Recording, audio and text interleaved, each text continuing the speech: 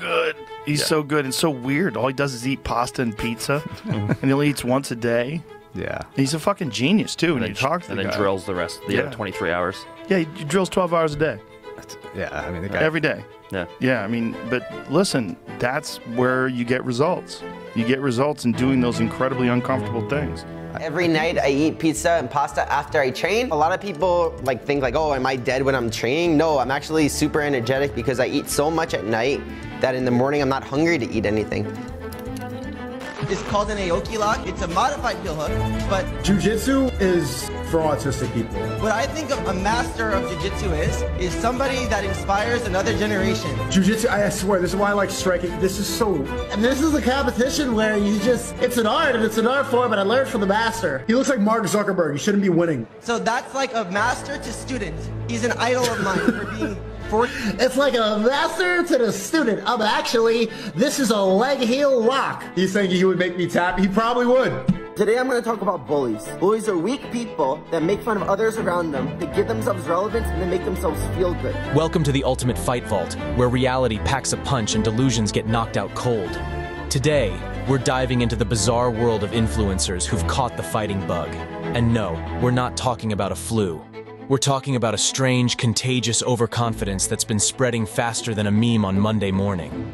Our story begins with Jake Paul, the YouTuber turned boxer, who's been knocking out more than just views. His leap into the ring has sparked a wildfire, and now every influencer with a pair of gloves thinks they're the next Muhammad Ali. From Instagram to TikTok, these social media stars have been throwing jabs and trash talk like it's going out of style. My mom's gonna f you with a strap on. She's gonna have the best 50th birthday ever. Yeah, I'm gonna let do that, bro. Wait, what? But when it comes to facing real fighters, well, that's a different story. Picture this our influencer, strutting down the street, surrounded by cameras, spewing disrespect like a broken fire hydrant. But oh, how the tables turn when things heat up. Suddenly, they're not so tough, hiding behind their security teams, their bravado melting faster than ice cream in the sun. And let's not forget those priceless moments, the ones that go viral for all the wrong reasons. Clips of these digital warriors, once so bold and brash, now crying and begging for forgiveness when confronted by actual fighters. It's like watching a reality TV show, but the script is written by life itself. Now, It's a prank! It's a prank! It's a prank! It's a prank! It's a prank! It's a prank! now, let's zoom in on our main characters, Sneako and Bradley. These two seem to have missed the age-old memo. Talk trash, get smashed. They parade around, thinking they're the heroes of their own action movie. But spoiler alert, they're more like the comic relief. So, buckle up, grab your popcorn, and let's get ready to rumble through the delusional world of influencer boxing. It's going to be a wild ride. We're spotlighting Sneako, the influencer who thought he could bully his way through the fight world, only to find himself in deep water. Our tale kicks off with Sneako throwing shade at jiu-jitsu, calling it a sport for autistic people.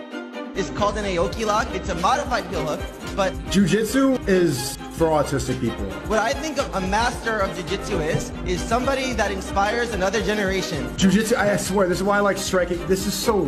And this is a competition where you just... It's an art, and it's an art form, and I learned from the master. He looks like Mark Zuckerberg. He shouldn't be winning. Oh, Sneako, little did you know, you were about to eat those words. Enter Mikey Musumeci, a jiu-jitsu prodigy, a four-time world champion, and a guy who looks more Silicon Valley than Fight Club. But don't let that fool you. This nerd is a grappling genius, and he's not here for Sneako's trash talk. Mikey, known for his love of pasta and homemade pizza, might seem like your friendly neighborhood geek, but he's a silent assassin on the mat. And now, he's got his sights set on Sneako, challenging him to an MMA showdown. It's the classic tale of the underestimated underdog versus the arrogant antagonist. I make jokes. I'm a streamer. I joke about everybody, me, chat, everything, all day, every day. What? I said in that video you're upset about, you would make me tap in Bra- Brazilian Jiu Jitsu. You would win.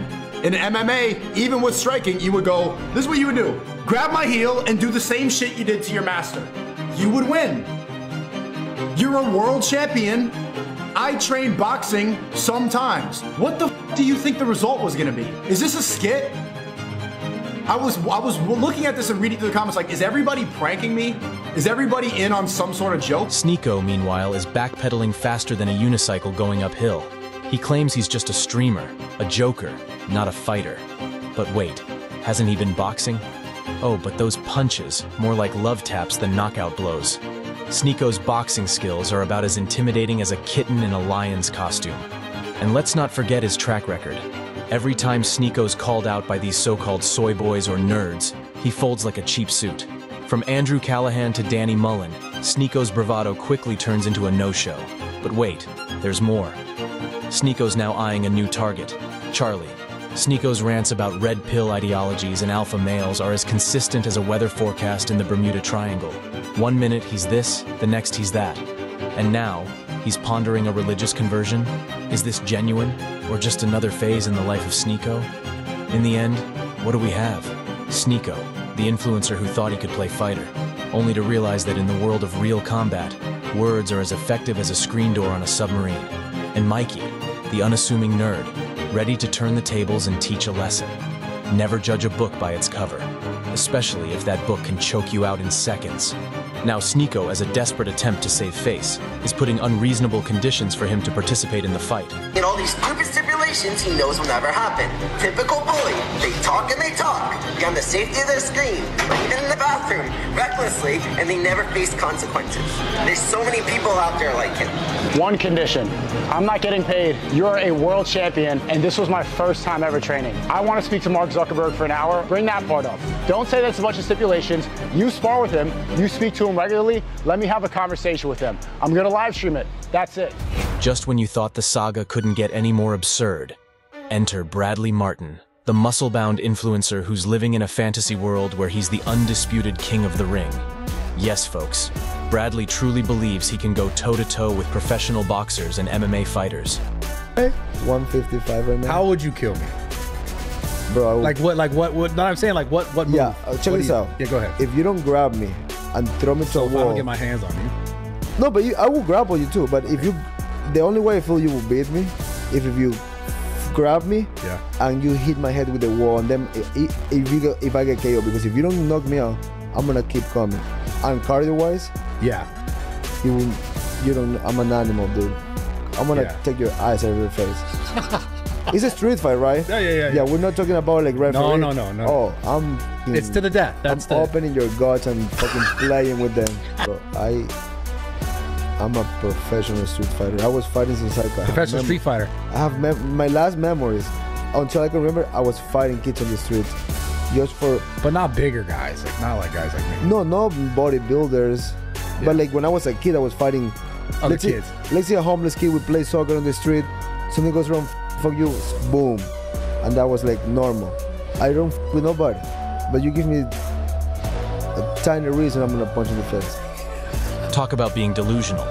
In a world where precision is about as accurate as a blindfolded archer, enter Bradley, a guy whose specialties include lifting dead things, pressing benches, and building bodies that make statues envious.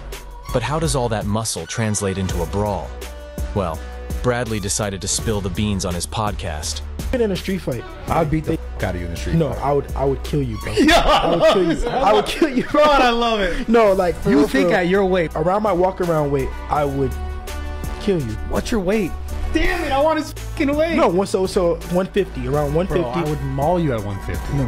hundred percent. No. As confident as you are. okay, about so let me tell you something. 150. Let me tell you something. about 150 pounds. Let me tell you something. Okay. You cannot take a punch though. So like you're not used to getting hit. So I've been hit though. no, no, no, no, no. But you've been Not hit, by you, But you've by- been hit by regular guys, like guys who don't even know how to punch. First off, Bradley managed to snag David Haney as a guest. An hour into the podcast, Bradley dropped a bombshell. Have you ever squared off against bigger dudes, and would you be willing to spar with me? Now that's a question that could lead to chaos or comedy. And we got both. Bradley, with a glimmer of hope in his eyes, asked David if he'd obliterate him in a spar. David, oozing confidence, shot back that they'd just have a friendly little spar. No murder involved. Bradley's expectations took a beating. But here's where it gets interesting. Bradley's grappling skills came into question, and the consensus wasn't in his favor. His attempts against opponents smaller than him looked more like a rodeo than a martial art. And when things didn't go his way, he revealed his secret weapon, a shiny bald spot. I know, but put a foul on How much you weigh? 260? Yeah. I'm 160 pounds. Take me down $100. Put 500 I'll put money on it. I don't need 160, Brad. 260. Come on, Brad. Come.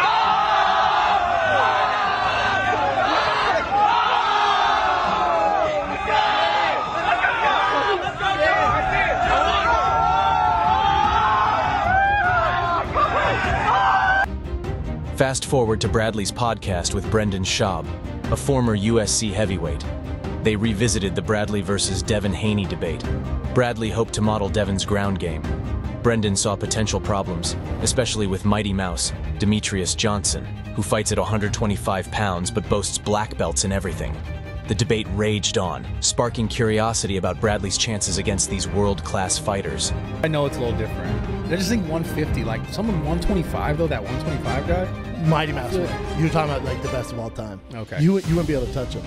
Bradley's not your typical buff dude. He's got a mix of courage and ambition that's as unpredictable as a squirrel on espresso. He knows how to stir the pot and get people talking, even if it means taking a punch or two. While Sneako, to his credit, eventually acknowledged his limits against Mikey Musumeci, Bradley seems to be on a whole different level of self deception. This guy looks in the mirror and sees a champion fighter, despite all evidence to the contrary. It's like watching a peacock strut into a lion's den thinking it's one of them. Bradley's confidence is sky high, but it's built on a foundation as sturdy as a house of cards. He's convinced that his gym gains translate to fighting prowess. But as any seasoned fighter will tell you, muscles for show and muscles for go are two very different things. The reality check waiting for Bradley could be harsher than a cold shower in winter. Facing off against seasoned boxers and MMA pros isn't like lifting weights or flexing for the gram. These fighters have honed their skills through blood, sweat, and tears. A far cry from the polished floors of a fitness studio. Guy you're talking about? DJ? I want to find him. I'm not going to fight him, fight him in the street fight. I want to just lay on top of him in jiu-jitsu. So like I, I did this. DJ, what's I mean, what do you, what do you, what do you, what's your, what's your thoughts on that, dude? How's is that dude just gonna get on top of you like he said, and sound like he was trying to do some kinky things, but talk to me about Yeah, it. I, I, I know when he said he wants to get on top of me like that, I'm like, damn, dog, you ain't Destiny, you ain't my wife. That's the only person I let on top of me like that. It- it's funny, you know. It, it's you know he's 265, he's a bodybuilder, so obviously he's got the weight advantage. But at the end of the day, you know that's the beautiful thing about grappling. It's not about weight; it's about technique.